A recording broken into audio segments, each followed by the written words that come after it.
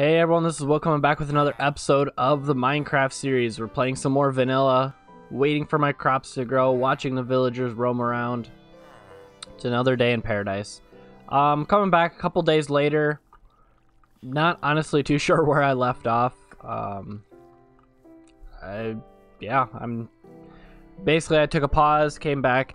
Uh, what I've been doing the last couple days is I actually got Borderlands 3, so I've been playing that. So this whole me recording this series has kind of gone on hold. Oops, I could probably take that off now. Eat some pumpkin pie here. Been working on doing some more trader uh, trader trades, villager trades, I should probably say, um, just to level them up a little bit more. Could steal the leads from those, but not worth it. I also set up a re, uh, sugarcane farm over here. I don't know. I don't think I did that on screen because I was definitely doing this while I was watching my movie the other day. So that was another trade that we have that's going on right now is the paper trade. So what I did is I set this up in the most efficient reed farm you can. Um, it's a little hard to tell because of all the reeds that are there, but let's see if I can get a good angle. I don't know if I can, but basically it's like you go one, two, one, two, one, two, or you go two up, one over. And with that, you're literally able to pack in the sugar cane. It's on the wiki, so if you ever wanted to recreate it, uh, well, that's how you do it. Um, did some farming. I don't think I have anything in my inventory. Nope. But yeah, I just haven't really done too much. Um, outside of just doing some side work. I think some of them need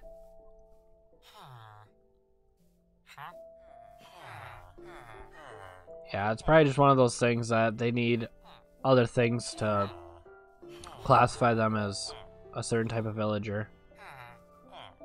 Paper trade isn't so bad. I just don't have any paper. So that'll be something that I'll look into is like how to classify them. Maybe I'll put like the like, tool station or something over there.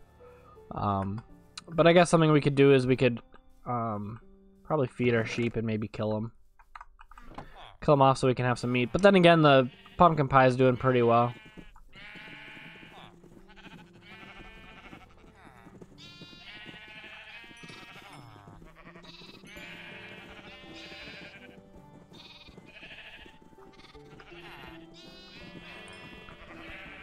I don't know, maybe we'll make the sheep farm a little bit bigger. Because they're a little sad how cramped they are in there. And looks like I have... Oops. I have plenty of fence because I've been harvesting it from the mine shaft. Which is good because then I don't have to make any.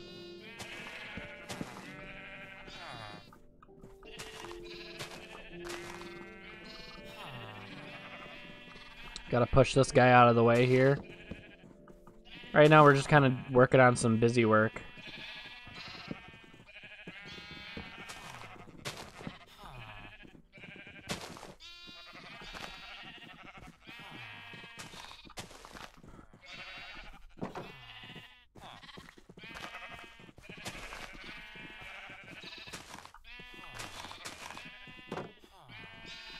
Looks like two baby sheep got out, which is fine, because that means when they grow up, I will murder them for getting out and defying my rules, even though I had it open from them. Um, I guess we'll just do some caving here, just something really passive. I am so awful when it comes to knowing what to do next. Um, in terms of like for a series, when I'm playing by myself, I just do whatever I feel like doing, and I do that, and it's all good. But when I'm trying to make like entertaining content and having a plan, I'm not good at all. And figuring out what to do next. Um, in between episodes, however, um, I was blown up by a creeper, and when I eventually found my way back to my stuff, it was all gone. So I lost everything, so I've had to remake all my tools. So I was a little sad, but it is what it is. So yeah, I was like working on mining off screen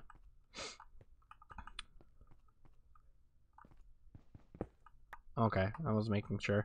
So I was working on this off screen when my cousin was like, "Hey, do you want Borderlands 2 or Borderlands 3?" And I was like, "Yeah." So that's pretty exciting. Um, one of his friends bought like a bunch of codes for a group of us to play, and I was fortunate enough to get one. So, um, let me know if that's something that you guys want to see as Borderlands content. I don't, I wouldn't mind making another character or whatever the case is.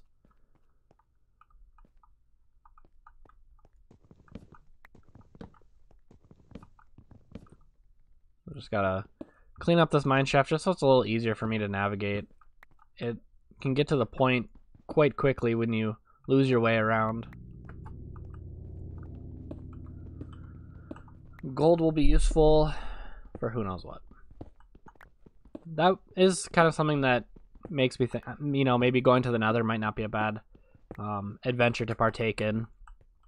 Um, it's just trying to figure out what's the next logical steps. I mean, we're at a village. It's just waiting for my crops to grow and get to the point where I'm making a lot of money and I have decent trades with them. But until then, also working on finding diamonds. Diamonds would be quite helpful. Probably once I find diamonds, I'll probably start doing some branch mining down here. It's just there's so much to go through that it's probably not even really that worth it to do it. But even though it's not the most efficient, technically, mathematically speaking, to find diamonds, it just, I mean, I find more diamonds doing that way than any other way.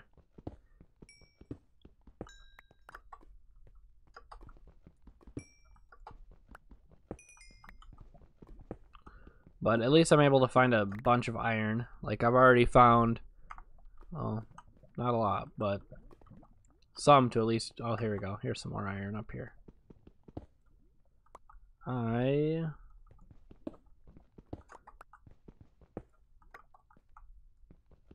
Yeah, so at least I found enough iron to replace this pickaxe, which I'll have to do soon. It's just, you don't realize how fast 256 gets eaten up quite a bit. Where diamond is like 1024. Yeah, because it's like four times as long.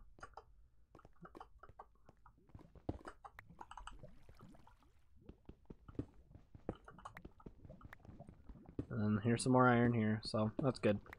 Um, an iron golem farm wouldn't be bad as like a fun thing to set up. Um, maybe doing going to the nether and doing a zombie pigman farm. It's also not a bad idea. But that also requires doing some research before I can actually start working into that.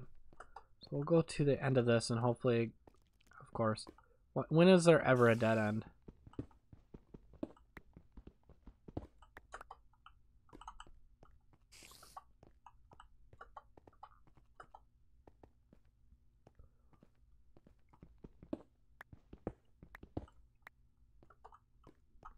Honestly, I could just mine through here.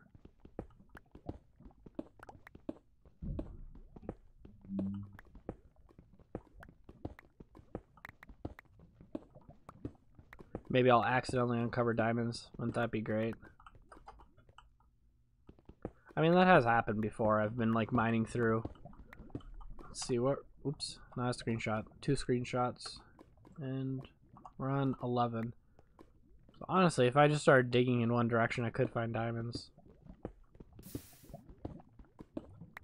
Assuming I don't burn myself in lava.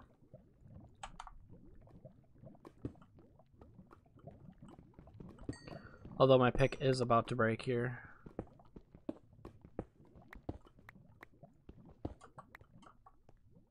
I was like, really? Does this lead me into another part of the cave?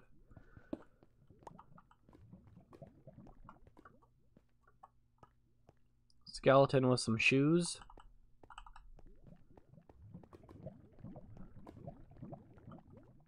Might as well take some more gold. Not too useful. As far as I know, I don't know any of the newer recipes, if there is any with gold. Obviously, I know power rails is one. I think my pick's about to... Yeah, my pick broke before I could finish that. Because if I can get all this area, I can pretty much close this area off, which would help eliminate some of the mine shaft. But yeah, there's just a lot to go through over here.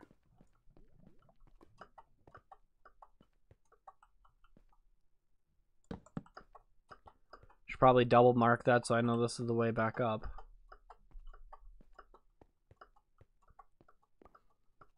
But yeah, there's just so much to go through in mine. I'm surprised I haven't found a chest either. That's another thing that's kind of um, confusing that I've I gotta remember where I came in and out. Um, that I've like searched a good portion of that mine shaft and I've yet to find a, a chest anywhere with anything in it. So that's kind of unfortunate, but it is what it is, I suppose.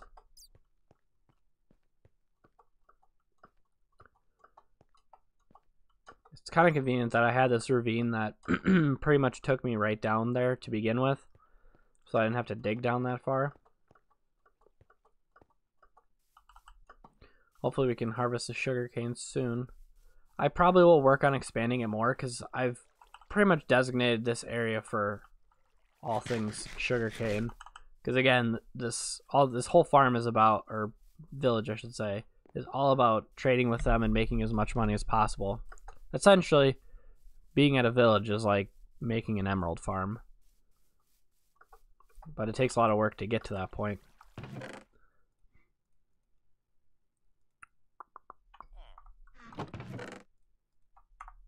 Oh, I had another pickaxe on me.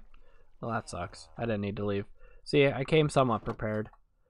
But I was not totally prepared. And these aren't quite done yet. These aren't quite done yet. You have to wait for a long time for everything to be ready to go. Um...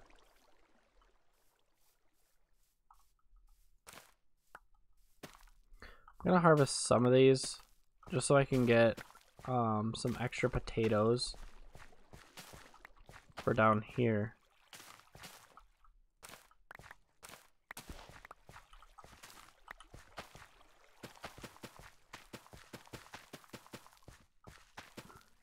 Because there is one, I think, that is doing potatoes as a trade.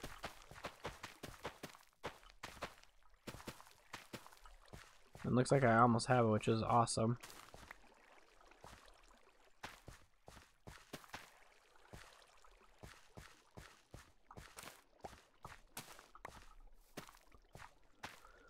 Just being a potato farmer.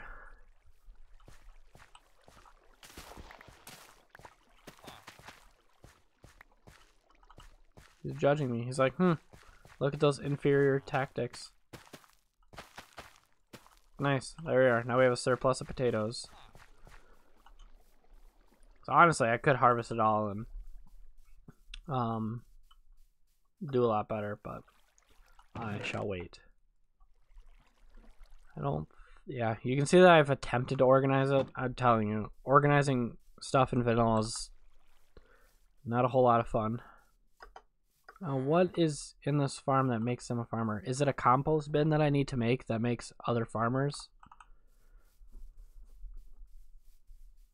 So there's three compost bins, three farmers. Let me take a look on the wiki and see what determines a profession so I can come back and relay the message. Give me one moment. Alright, so indeed it is. If I make a composter, I, if I even know where to go to make it, that will make someone turn into a farmer. Wherever it may be. Loom would probably make them a different type of profession. A barrel. I wonder Smoker.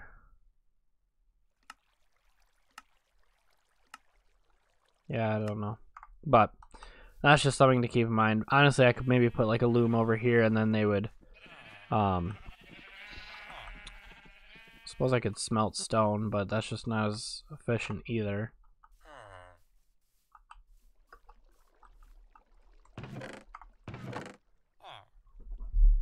It's too bad they just don't have any like any carrot trades right now. I like how he keeps stepping on that blade and then he gets hurt. He's like, oh, why does that keep happening to me? Who knows, my friend? Who knows?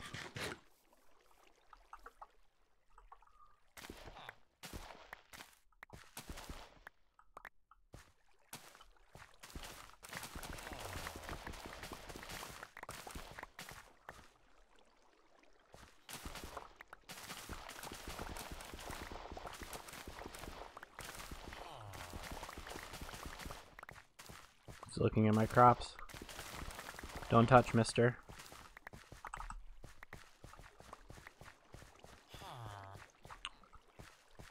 Um, I did have a problem with uh, some villagers stepping on my crops, but I think I fixed it by giving like a place to drop down. It was more over by my stuff. There's always like a couple spots that were trampled.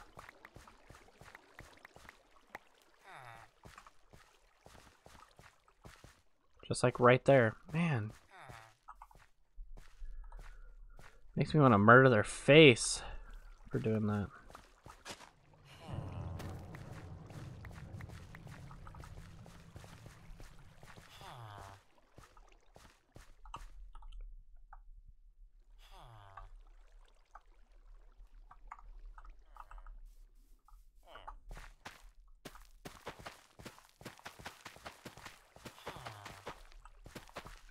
And then it's all about replanting.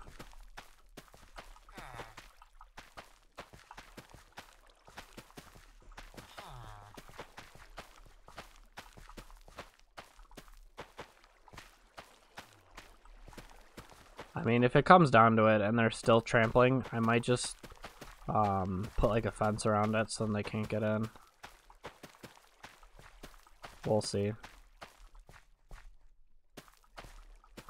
Yeah, looks like he did it again. I might have to murder that guy.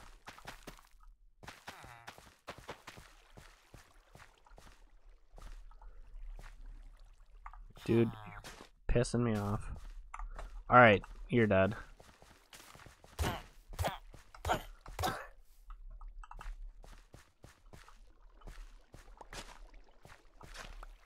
I had to get him out of my crops because he kept stomping them and it pissed me off. And as far as getting more villagers, I'm I haven't really seen them do any breeding, but I'm pretty sure this village has to meet the requirements to be able to breed. If not, I can just make a village breeder. There we go. My beets are replanted.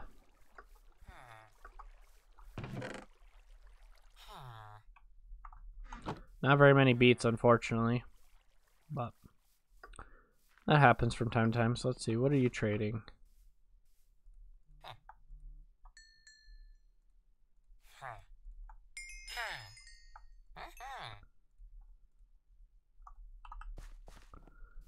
So, got some emeralds from him.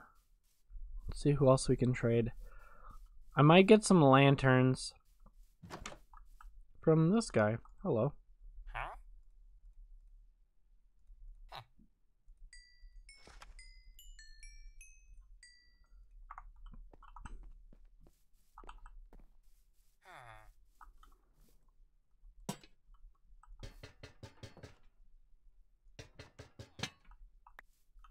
Okay, I'm glad they're harvestable because I'd be really sad if I spent the money and didn't even get a chance to enjoy them.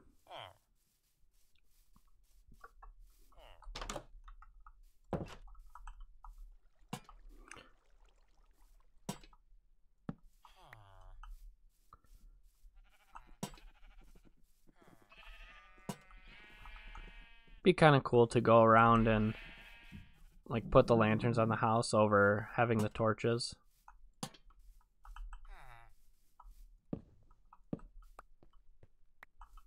Kind of cool. So, yeah, that's just kind of all I've been really working on is, you know, harvesting and trading with them.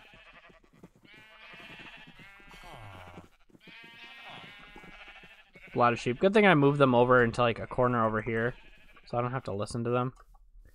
I do eventually want to um, do like a cow farm. Chicken farm wouldn't be bad as well. Man, I really wish I had a farmer that was trading carrots. Because I have plenty. But I guess when I... Um, I guess when they get to that point and they're trading, I'll be ready to go, I suppose.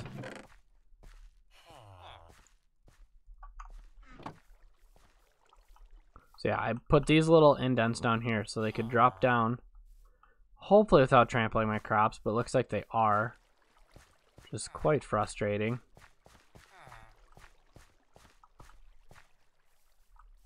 I mean, if I made it all one level, it wouldn't matter, but, you know, it's just, it's hard to add so much dirt to make everything even. But, um, what I can do is I'm going to harvest the sugarcane because it looks like that's about ready. Can trade with the cartographer again. Um, we should be good to go. So another thing that I do to this farm to make it a little bit better, sorry if it's a little loud from harvesting, is I put down lily pads. Otherwise what you're doing is you're always stepping down into water. This makes it one even level. And it also prevents stuff from going in water, which is also quite annoying.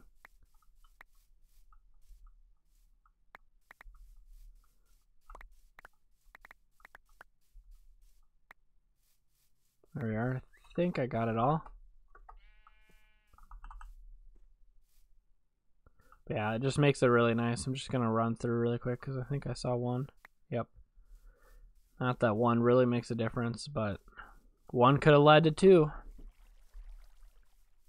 Something else I should probably do is add like a crafting bench over here somewhere. Um, just so I can craft the paper when I'm nearby. What I'll do is I'll just grab like a log from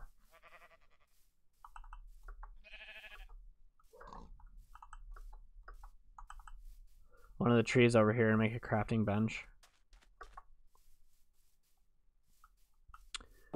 Kind of a annoying, busy, slow work, but it'll be useful. And then we'll end it on the paper trade and call it a day. Just wanted to get another episode recorded, so I at least had them for the week ready to go.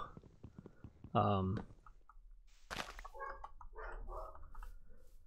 yeah, it's I I don't know. I've just been you know really excited for playing Borderlands, so I've been kind of kind of put a damper on this series in the sense that you know I'm really excited to play that. Um, but I I'm just really happy with how how good they did with the game. Um, they did a lot of good quality of life changes that I think really improved the game. Um, cartographer, you're still out here? Oh, fantastic. Yeah, you can get a lot of paper from these fellas. Bam.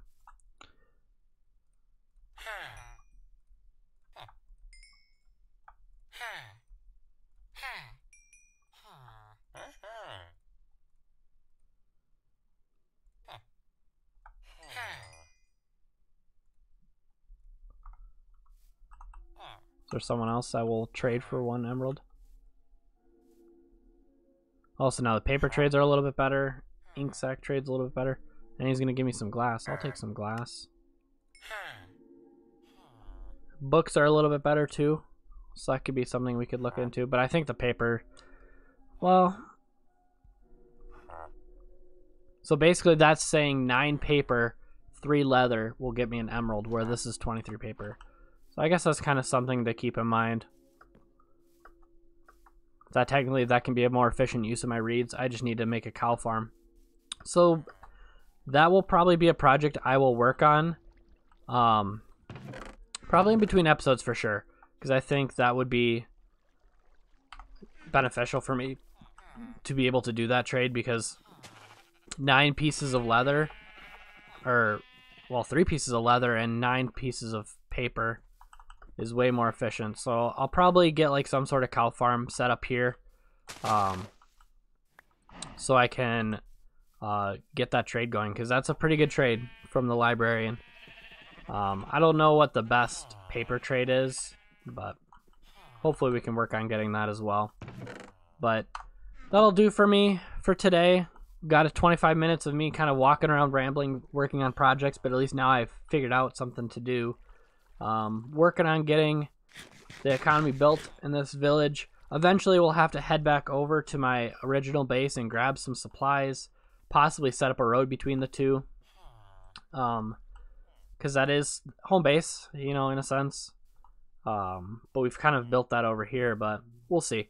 We'll decide what we want to do in future episodes. But for now, guys, that takes care of me today. Thank you so much for stopping by.